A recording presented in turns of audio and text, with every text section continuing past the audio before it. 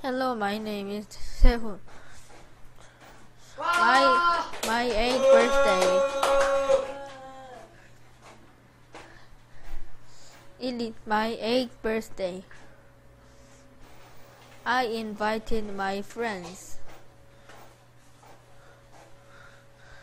First, my friends sang the happy birthday song.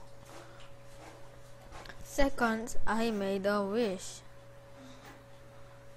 Third, I blew out the candles. Finally, my friend last of the, give me a last of the presents. Kelly gave me a book.